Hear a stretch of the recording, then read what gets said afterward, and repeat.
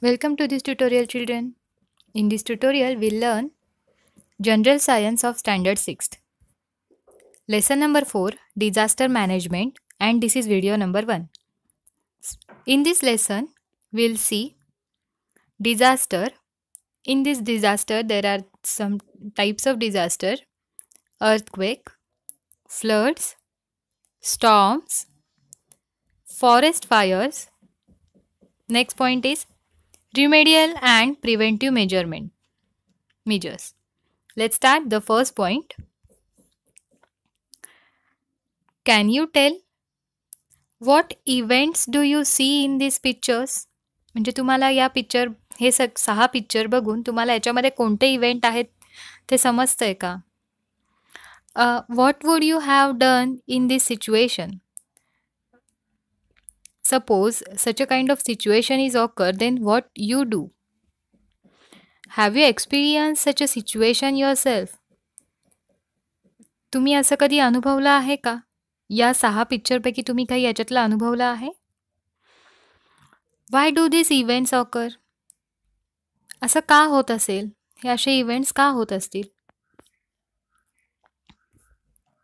Let's see the first point disaster In July 2014, the whole village of Malin in Ambegaon, Ambegaon Taluka of Pune district, was destroyed in a matter of uh, matter of minutes due to a landslide.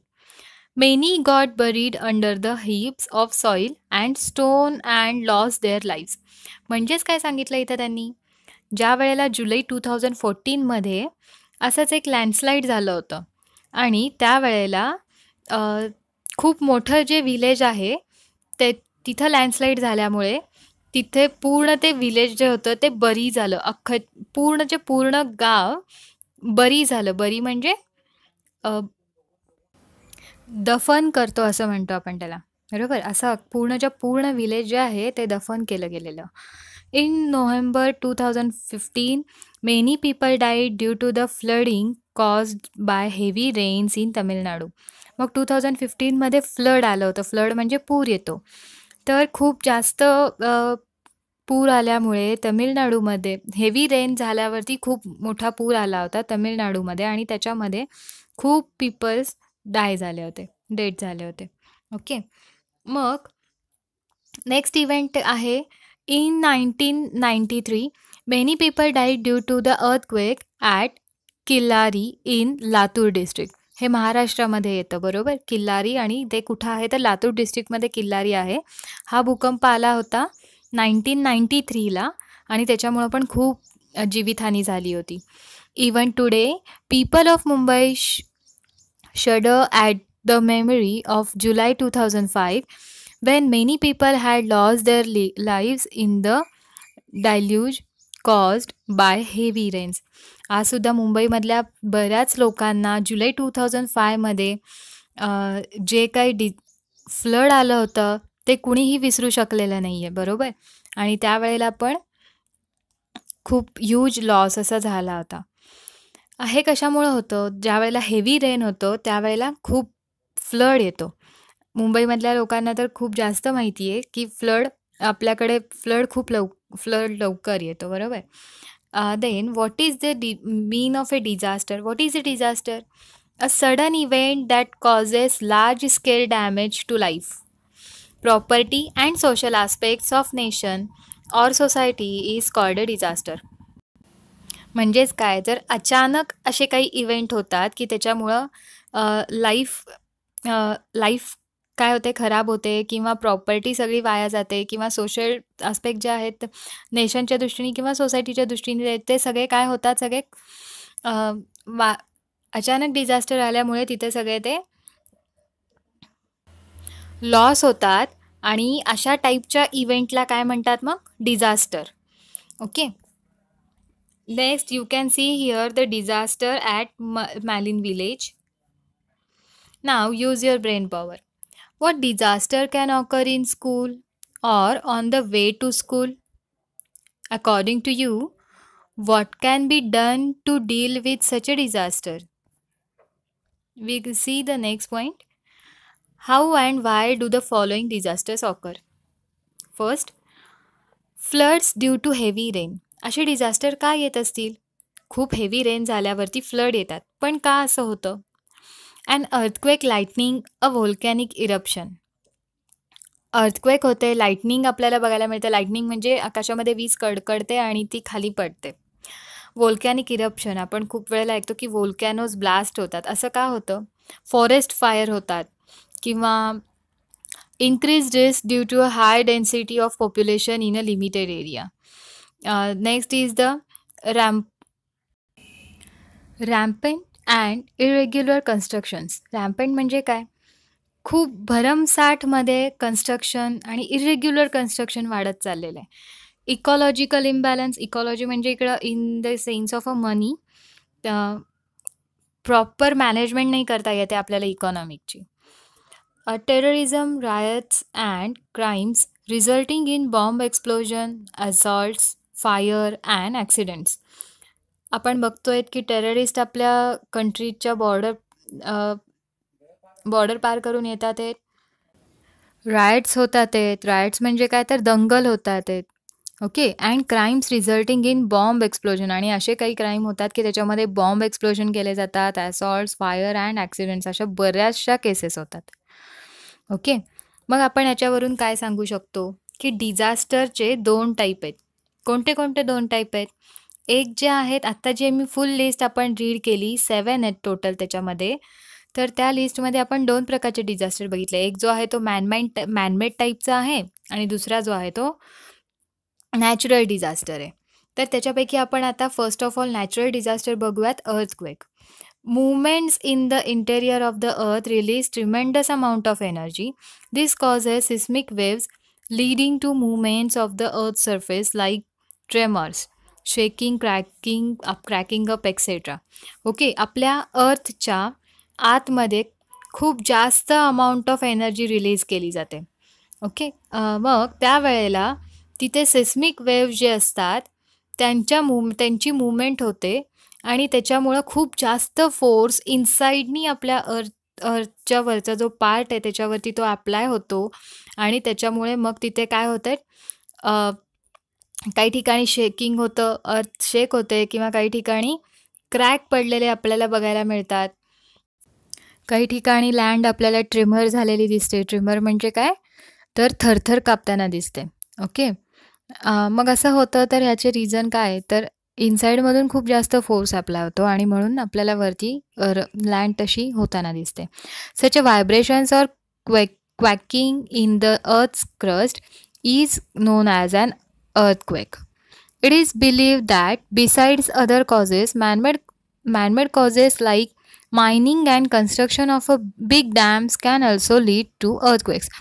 बघा हे जे आहे असं ज्या वेळेला होतं ज्या वेळेला अर्थ क्रस्टमध्ये मुवमेंट होतात आणि त्याचा इफेक्ट आपल्याला वरतीपर्यंत जाणवतो त्यावेळेला क्वेकिंग होतं ट्रेमर्स येतात किंवा लँड जी आहे ती शेक होते त्याला काय म्हणतात? अर्थक्वेक पण आपल्या आजूबाजूला जर काही डॅमचं कन्स्ट्रक्शन चालू असेल किंवा मायनिंग होत असेल म्हणजे खण खणा खाणकाम होत असेल तर तरी पण आपल्याला अशा प्रकारचे व्हायब्रेशन्स आपल्याला बघायला मिळतात किंवा फील होतात.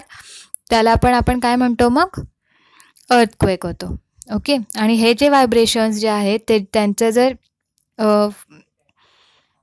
स्पीड किंवा फोर्स जर जास्त प्रमाणात ते व्हायब्रेशन्स येत असतील जास्त तीव्रता असेल त्या व्हायब्रेशन्सची तर ऑब्व्हियसली तिकडे काय होईल? अर्थक्वेक होईल ओके इफेक्ट्स ऑफ अर्थक्वेक मग इफ काय अर्थ अर्थक्वेकचे इफेक्ट्स काय आहेत?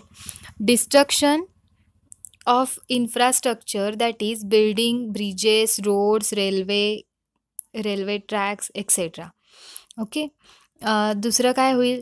Change in the direction of the flow of rivers अर्थक्वेकमुळे flow of river जे आहे ते चेंज होते. कसं चेंज होतं? काही वेळेला अर्थक्वेकमध्ये पूर्णपणे ती जी लँड आहे ती लँड एकतर हिलमध्ये पण स्मॉल हिलमध्ये कन्वर्ट होईल किंवा जो हिल आहे तो पूर्ण अर्थक्वेक झाल्यामुळे तो जो हिल आहे तो काय होतो? पडतो. म्हणजे तिथं डोंगर असा पूर्ण जमीन सपाट होतो आणि त्याच्यामुळे तिथल्या रिव्हरची जी डायरेक्शन आहे किंवा सिंपल एक प्लेन रोड होता किंवा प्लेन लँड आहे रिव्हरच्या खालची तर तिथे अर्थक्वेक झाल्यामुळं ती लँड पूर्णपणे सरकत गेली आहे आणि मग तिथे काय झालं आहे मोठा खड्डा झाला आहे तर नक्कीच त्या रिव्हरची जी आहे ती डायरेक्शन प्र बदलू शकते. Huge loss of life and property. दुसरं तिसरं मेन रिझन काय याच्यामध्ये? तर लाईफ प्रॉपर्टीचा आणि लाईफचा खूप जास्त लॉस होतो. नेक्स्ट पॉईंट आपल्याला बघायचं आहे. अशा प्रकारे इथं दिसते तुम्हाला की क्वॅक होती आहे अर्थमध्ये क्वॅक होते तर लँडमध्ये कशा प्रकारे क्रॅक्स झालेले दिसतात आहे चिल्ड्रन हे आपण या डायग्राममध्ये व्यवस्थित बघू शकतो नेक्स्ट फिगर नेक्स्ट पॉईंट बघूयात आपण फ्लड्स म्हणजे, a frequently occurring natural disasters in all part of the world is flood frequently म्हणजे काही आपल्या वर्ल्डच्या काही पार्टमध्ये फ्रिक्वेंटली असे नॅचरल डिझास्टर होत असतात त्याच्यापैकी एक म्हणजे flood due to excessive rains in the same place a river overflows its banks causing a flood ज्या वेळेला पाऊस खूप जास्त प्रमाणामध्ये होतो त्यावेळेला नदी जे असतात ते त्यांचे पात्र सोडून त्या बाहेर दुथ त्याला मराठीमध्ये म्हणतो ना आपण दुथडी भरून व्हायला लागतात. तर अशा वेळेला काय होतं मग ते यालाच काय म्हणतात मग? Flood. The water ड्रेने the water drainage system in big cities fall short when there is a heavy rainfall resulting in choking of gutters and drainage lines water overflows on to the roads and surrounding the areas and even enters nearby houses बघा लक्षात ठे लक्षात घ्या ज्या वेळेला खूप जास्त rain होतो त्यावेळेला आपले जे बिग सिटीमध्ये जे रे ड्रेनेज सिस्टीम असते ती पण तिथे कमी पडते आणि त्यावेळेला मग खूप जास्त ज्यावेळेला वॉटर फ्लो होत असतं रोड्सवरून त्यावेळेला त्याच्यासोबत सगळा गार्बेज पण कलेक्ट होतो. आणि असा जो गार्बेज आहे तो मग ड्रेनेजच्या पाईपमध्ये जाऊन अडकला की ते जे होतात ते चोक होतात ड्रेनेज पाईप्स आणि मग त्याच्यामुळे सगळं ड्रेनेजमध्ये ड्रेनेज पण भरतं पावसाच्या पाण्याने आणि सगळं पाणी रस्त्यावरती व्हायला लागतं. Okay water overflows on to the roads and surrounding areas and even N enter near by houses आणि ज्यांचे ज्यांचे घर आहेत जे ग्राउंड फ्लोअरला टच असलेले घरं जर असतील तर ऑब्व्हियसली त्यांच्या घरामध्ये आपल्याला फ्लड आल्यावरती पाणी बघायला पाणी गेलेलं दिसतं.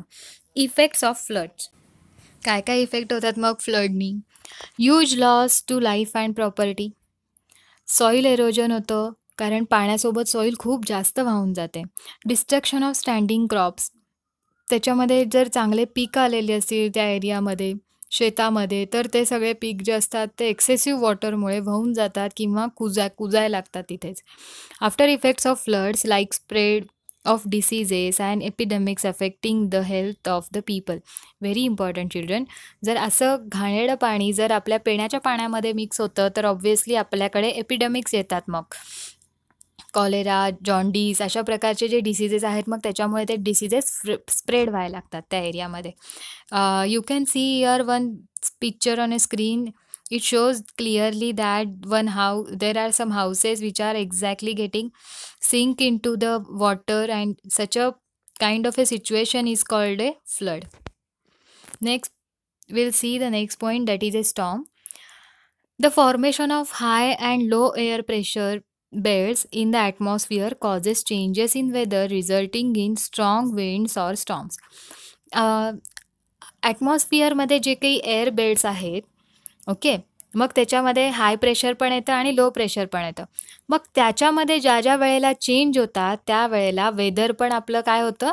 चेंज होतं. स्ट्रॉंग विंड्स त्यामुळे मग खूप जास्त स्ट्रॉंग विंड्स आणि स्टॉम्स येतात. खूप जोराचा वारा सुटतो.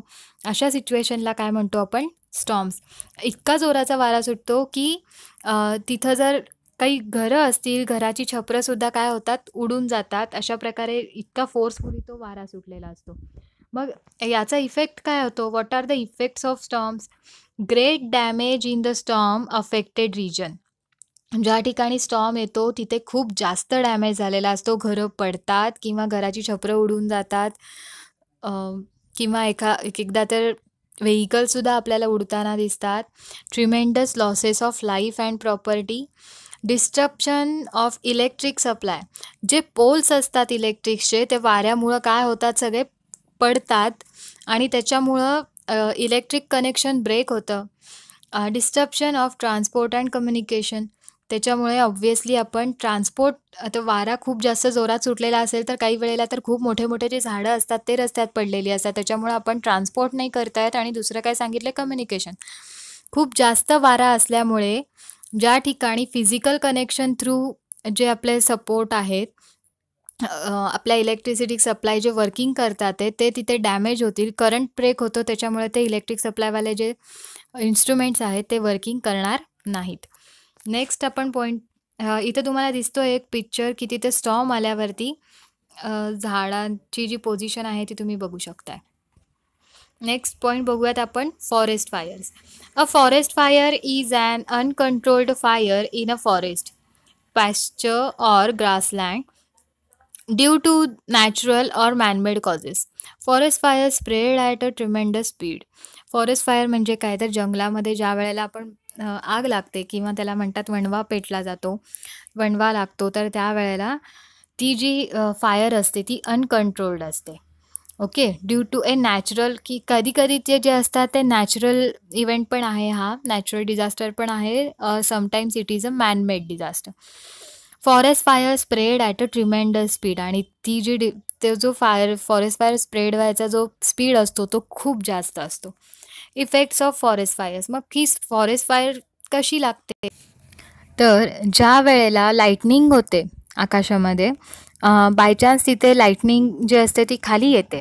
आणि मग जर फॉरेस्टमध्ये त्या एरियामध्ये जर खूप सारे असे ट्रीज असतील की जे वाळलेले आहेत वाळलेले ट्रीज असतील आणि त्याच्यावरती ती जर लाईटनिंग स्ट्राईक झाली तर ऑब्व्हियसली तिथं जे वाळलेलं जे झाड आहे ते काय होतं फायर कॅच करतं आणि मग त्याच्या आजूबाजूचा खाली सगळ्या जंगलामध्ये कचरा असतो. तर मग तो कचरा आणि ते फा आजूबाजूला सगळे जे ट्रीज आहेत ते काय होतात तिकडे पेट घेतात.